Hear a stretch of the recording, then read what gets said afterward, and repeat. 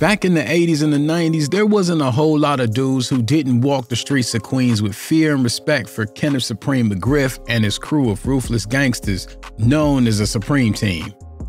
But in a crowd of small time street dudes who didn't dare look at Preem or his crew the wrong way, one man in particular wasn't afraid to stand up to them. I'm talking about no other than Troy Singleton, otherwise known as Big Nose Troy. In a time when Queens was running with heavy hitters like Preem, Prince, 50 Cent, and Fat Cat Nichols, Troy was one of the few who didn't back down. This dude was part of a new wave of street legends who didn't give two cents about the old guard's rep.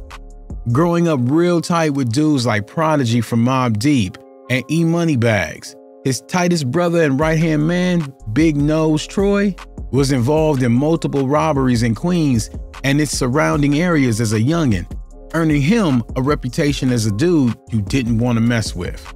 An incident that later came back to bite him after Troy saw the name of one of the Supreme Team's members on the documents that incriminated him for the double hit. He and his brother, E Moneybags, declared war on the Supreme Team and spent several months running down and slapping up anyone who had any kind of connection to Preem. That's a bold move, y'all. After Troy smacked around some of Preem's closest associates, including Irv Gotti and Ron Gunner Robinson, Preem put a bag on his head, a bag that caught up with him in October 2001 when he was brutally executed outside the club Van Wyck on Liberty Avenue in South Jamaica, Queens. The story of how this OG street legend declared war on Preem and his crew and ended up paying the price for it is a pretty long one. Troy Singleton aka Big Nose Troy, was born in Queens in 68. But because there ain't a whole lot of public information on Do It Out of There, and different sources have different information on his origins, it's hard to know exactly when Bro was born. But even though there ain't as much info out there on Troy as there is on other big players from Queens from those decades, like Supreme McGriff, 50 Cent, and Fat Cat, that doesn't take away from the fact that back in the day, Troy was a pretty feared dude in the streets of New York. And along with 50 Cent, E Moneybags and Hamo was one of the only four people who was known not to be afraid of the one and only Kenneth Supreme McGriff, leader of the Supreme Team. One thing that made Troy stand out in the streets as a youngin' was that he embodied a new generation of street dudes who didn't care about the reputation of the old guard. And when I say the old guard, I mean the one made famous by the likes of Preem, Prince, Fat Cat Nichols, and even Jay Z.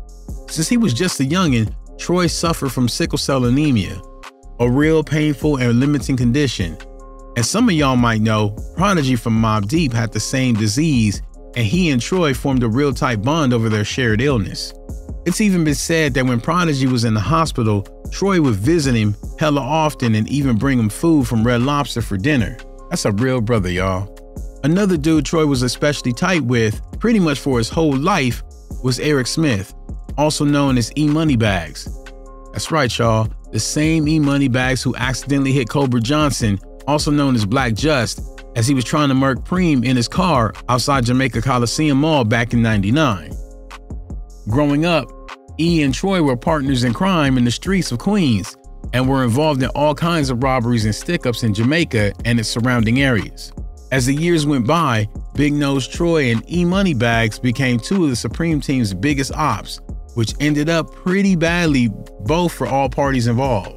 On top of being a close brother to E Moneybags, who hated Preem and his crew more than anyone else in the world, Big Nose Troy had his own reasons to want to take the Supreme Team down. Most of y'all might already know why E Moneybags hated the Supreme Team, but if you don't know, let me break it down for you right quick. Before he ended up getting thrown into the pen for life, Preem was selling tagged cars through a woman named Z. When E decided to buy a car from Preem, he was told to put a down payment of $1,000 for it, which he gave to Z. But at some point after putting down the payment, he changed his mind and decided to use the money for a down payment on a new Lincoln Navigator instead of buying a tagged whip. When he personally asked Preem for a refund on the $1,000 he put down, Preem treated him like a fool and refused to give him a refund which triggered a legendary beef between them that ended with the tragic accidental passing of Black Just in 99. As for Big Nose Troy, his beef with the Supreme Team had a whole nother origin. Let me lay it down for y'all. In July of 95, a basketball tournament called the Peace Tournament was held in Baisley Pond Park in South Jamaica, Queens, in honor of two men hit by a police officer in December of 94, pretty close to the ball court where the tournament was held that day. There were 300 people from Baisley Park Projects that day cheering the teams on, and in the second half, something real tragic happened that stained the memory of the Peace Tournament forever. About five minutes into the second half, shots were fired on the court. It was unclear who exactly had opened fire, but what we do know is that as soon as the shootout was over, two spectators were deceased and several others injured. The name of the two persons were Pierre Mitchell and Jamal Adams. And even though the cops had a hella hard time identifying who was involved in the shootout, which was confirmed to be drug related, your boy Troy was eventually identified in a lineup at the 113th precinct and taken to the big house for second degree hit. One big thing to keep in mind about the whole incident is that, as y'all might already know, the Baisley Park Projects was the home turf of none other than Supreme, which made it a pretty bad move on Troy's part to start whacking people on that court. Even though the Peace Tournament shooting and the ensuing chaos was talked about by author Ethan Brown in his revealing book, Queens Reign Supreme, in 2010, some information on Troy's involvement in the whole thing just came to light pretty recently. As Big Nose was being taken in for his alleged participation in the shootout, a Supreme Team member allegedly gave a statement against him. And word on the street is that James Anthony, also known as Bimmy, was also set to sign an affidavit and testify against Troy.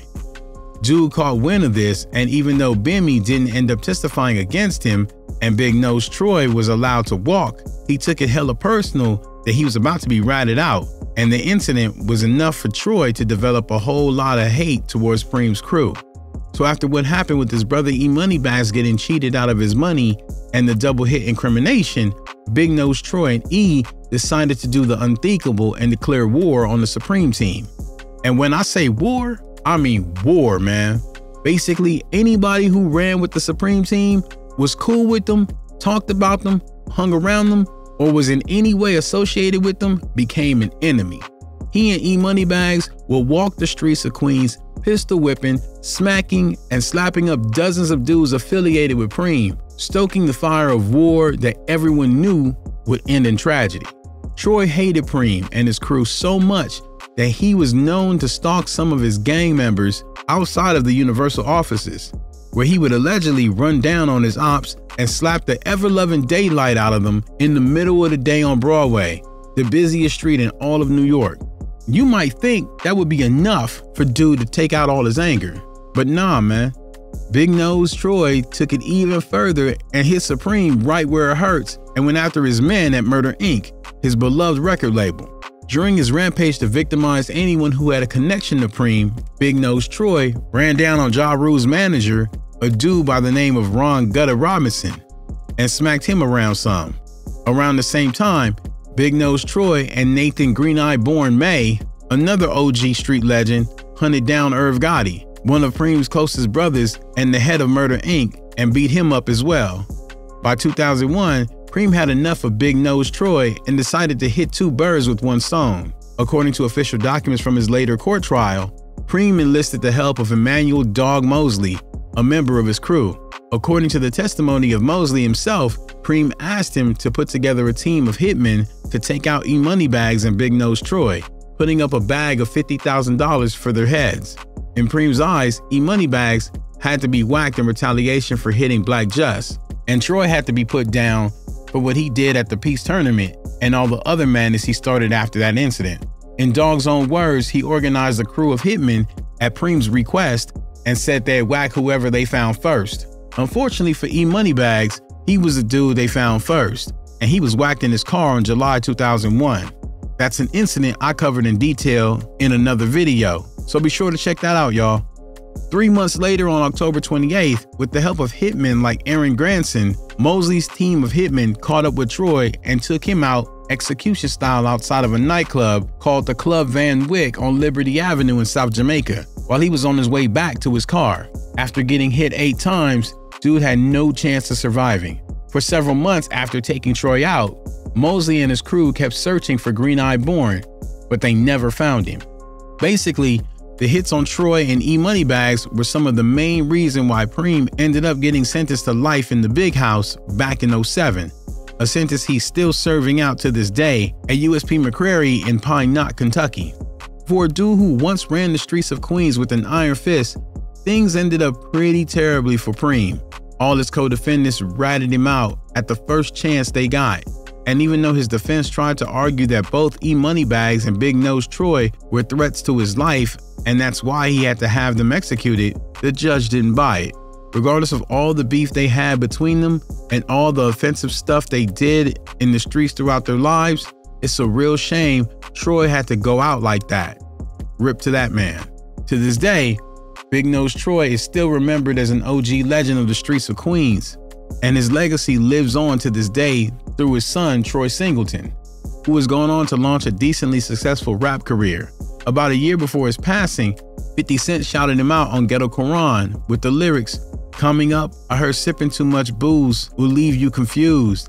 And if you watch the news, you see players in the game. They lose. I'm forgetting Lefty and Jazz, Pretty Tony and Lance, Head Luke, Mel Son, Troy, and E Moneybags.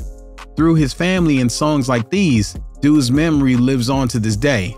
Just hearing those lyrics from 50 Cent, it's crazy how all these gangsters end up doing completely different things.